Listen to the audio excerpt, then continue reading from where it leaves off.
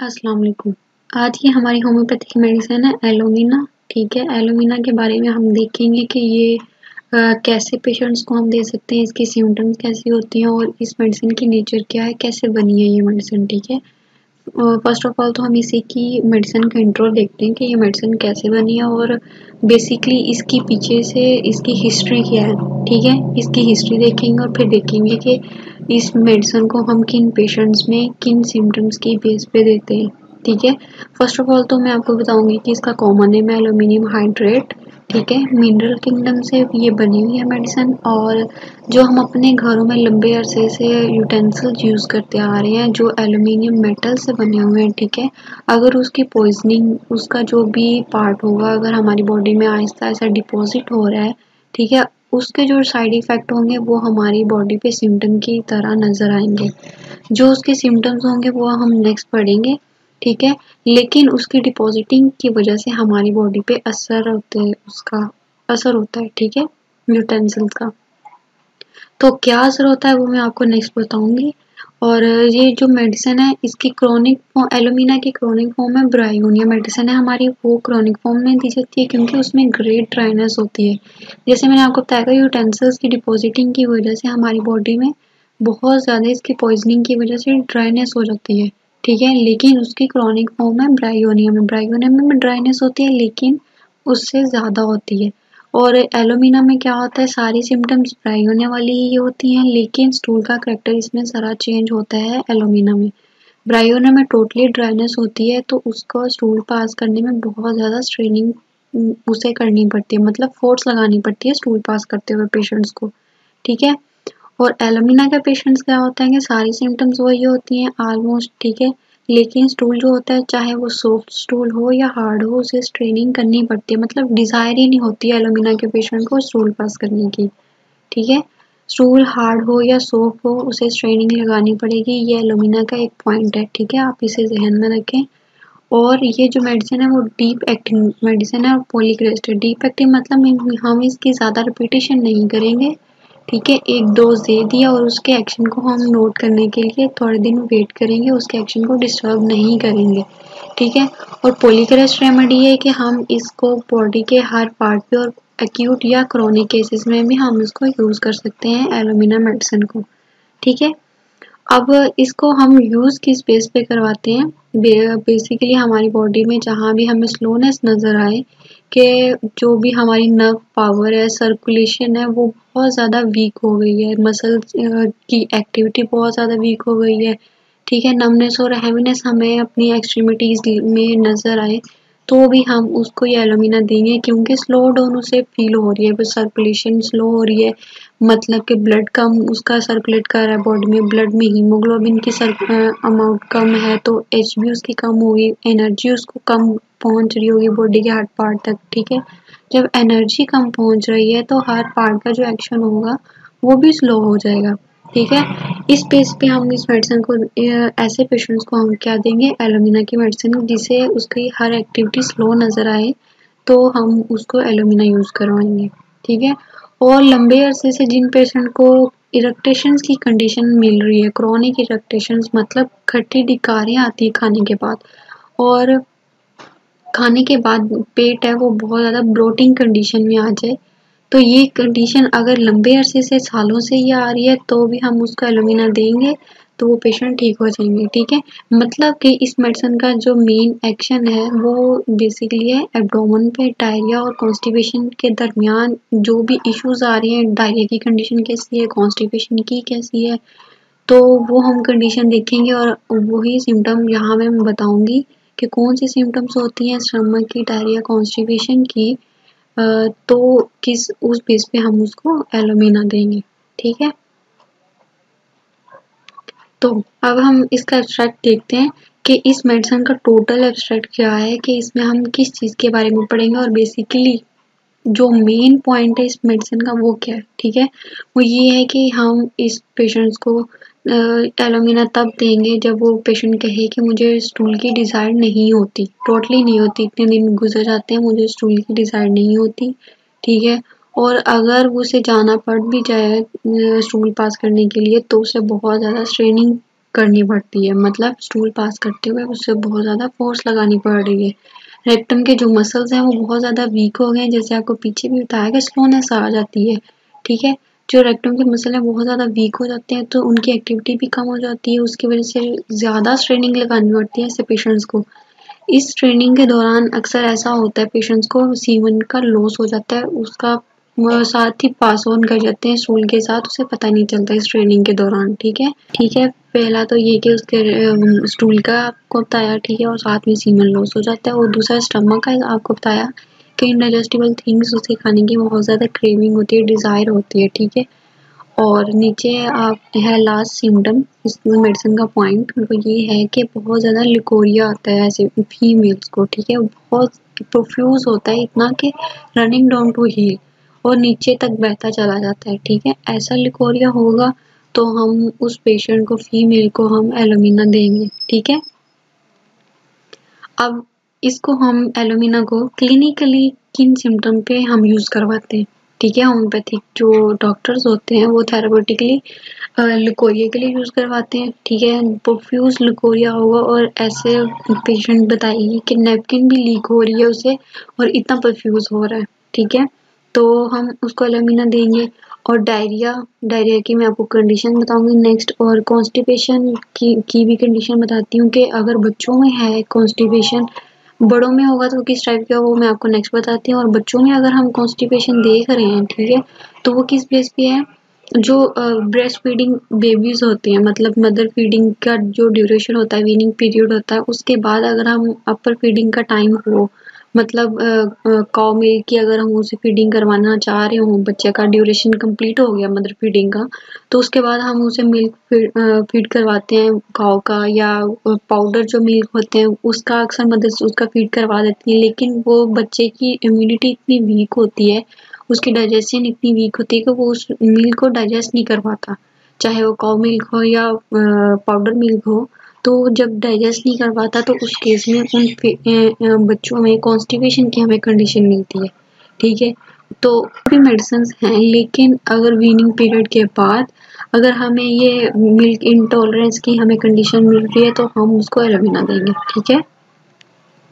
और स्टमक में हम आ, कौन सा मेन इशू होता है जिसकी वजह से कॉन्स्टिपेशन और डायरिया की कंडीशन देखने को मिलती है?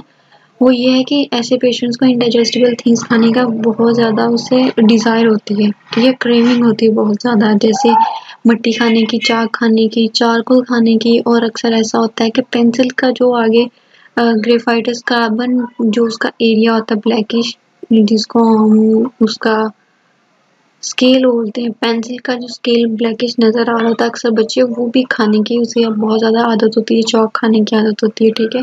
वो किस वजह से? क्योंकि ऐसे पेशेंट्स में एच लेवल बहुत ज़्यादा कम होता है, ठीक है? जैसे आपको पीछे भी बताया था मेन में कि हर बॉडी में उसका जो एक्शन है, वो बहुत ज़्यादा स्लो डाउन हो जाएगा, ठीक है? ब्लड सर्कुलेशन कम हो जाएगी तो सर्कुलेशन कम होगी तो उसमें एचबी होता है एचबी कम होगी तो एनर्जी लेवल कम हो जाएगा हो जाएगा, ठीक है? जब एनर्जी लेवल कम है तो उसे मतलब जो हेल्दी फ़ूड और न्यूट्रिशनिस्ट फ़ूड है, उसे वो खाने का दिल नहीं करेगा। उसका फिर यही करेगा कि वो कुछ ना खाए, बस यही इनडाइजेस्टिबल थिंग्स खाता रहे। बहुत ज़्यादा उसे दिल यही करता है बस यही खाता रहे, ठीक है? और अगर वो पोटैटोज और मीट खा ले, ठीक है तो उसको एग्रावेशन होने लग जाती है। मीन्स उसका डायरिया बहुत ज़्यादा हो जाता है कॉन्स्टिपेशन बहुत ज़्यादा हो जाती है, ठीक है? मतलब एग्रावेट करता है। ये इंडाइजेस्टिबल थिंग्स खाएगा तो ठीक रहेगा, अगर ये पोटैटोज मीट खाएगा, ज़्यादा इन इन दो चीज़ों से एग्रेवेशन होगी, बाकी खाएगा तो नॉर्मल रहेगा, ठीक है? और ग्रेट इरेक्टेशन फॉर ईयर्स आपको पीछे भी बताया कि बहुत ज़्यादा इरेक्टेशन होंगी ऐसे पेशेंट में। लंबे ऐसे से जो चली आ रही हैं दिखा रही है कि खाना खाने के बाद ब्लॉटिंग कंडीशन हो गया है, भरा भरा सा पेट रहेगा अनकंफर्टेबल पेशेंट फील करेगा। तो हम उस कंडीशन में, हम उसको एलमोना की एक डोज देंगे और फिर बाद में उसके रिज़ल्ट का वेट करेंगे। और उसके रिज़ल्ट बहुत अच्छे होते हैं, ठीक है? और नेक्स्ट है कि कॉन्स्टिपेशन कॉन्स्टिपेशन ये है कि इसके जो स्टूल है, वो पास करते बहुत ज़्यादा से स्ट्रेनिंग करनी पड़ रही है मतलब बहुत ज़्यादा फोर्स लगानी पड़ रही है, चाहे वो स्टूल सॉफ्ट ही क्यों ना हो, ठीक है? और इसकी डिज़ायर ही नहीं होती उस स्टूल पास करने की, जब तक वो ज़्यादा लार्ज एक्यूमुलेशन ना हो जाए उसकी। और इतने हार्ड नोटी ड्राई स्टूल होता है कि जब वो स्ट्रेनिंग के साथ पास करता है तो म्यूकस भी साथ है, जिसे मैंने आपको पीछे बताया कि इनवॉलेंट्री लॉस ऑफ़ सीमन हो जाता है।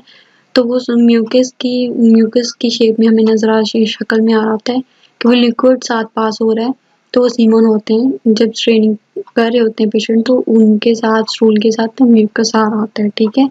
और इस ट्रेनिंग के बाद रेक्टम में बहुत ज़्यादा पेन होगी और कॉन्स्टिपेशन जो बोटल फैट बेबीज आपको पीछे बताया कि जो मिल्क फीडिंग के बाद ब्रेस्ट मिल्क फीडिंग के बाद जो बच्चों में कॉन्स्टिपेशन होती है, उनको भी हम एलोमिना देंगे, ठीक है?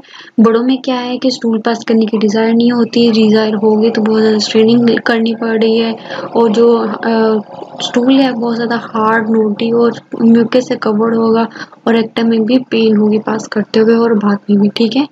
ये है जी कॉन्स्टिपेशन की कंडीशन और नेक्स्ट है ये डायरिया अगर डायरिया हो गया अल्टरनेट ऐसे पेशेंट्स को होता रहता है कभी कॉन्स्टिपेशन कभी डायरिया तो अगर डायरिया हो रहा है तो उसमें किस वजह से हो रहा है? पोटैटोज और मीट खाने की वजह से। पीछे बताया ना कि उसको एग्रेवेशन होती है पोटैटो से और मीट से तो जब वो ये खाएगा तो उसको डायरिया होगा, ठीक है? और क्या होगा? कि difficult expulsion of stool and urine also exist मतलब कि जैसे स्टूल पास करने की उसे डिज़ायर नहीं होती, ऐसे यूरिन पास करने की भी कई दिनों तक उसे डिज़ायर नहीं होती। बहुत ज़्यादा डिफ़िकल्टी आती है इसको पास करने में। यूरिन पास करने में उसे स्ट्रेनिंग की करनी पड़ती है। और क्या होता फिर उसके बाद उसका यूरिनेशन का प्रोसेस स्टार्ट होता है।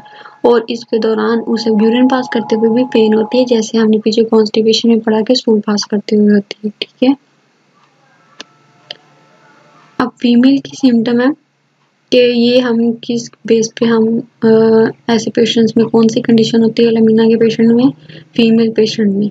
उसमें ये होता है कि मेंसेस बहुत ज़्यादा स्कैंटी होते हैं और पेल फेस होता है वीकनेस बहुत ज़्यादा होती है। बेसिकली देखा जाए तो इसका ये थीम है कि इस फीमेल को वीकनेस बहुत ज़्यादा होगी पेल फेस होगा उस वजह से। और मेंसेस भी बहुत कम आएँगे। कम आएँगे, उसके बाद भी उसे सफरिंग रहेगी। आर टाइम जैसे इरिटेबल पेशेंट होता है, वैसे रहेगा और वीक फील करेगा। सुबह मॉर्निंग के टाइम में उससे ज़्यादा मतलब वीकनेस फील होगी। और मेंसेस के बाद भी वो मेंटली फिजिकली वीक ही रहेगी फीमेल ठीक है?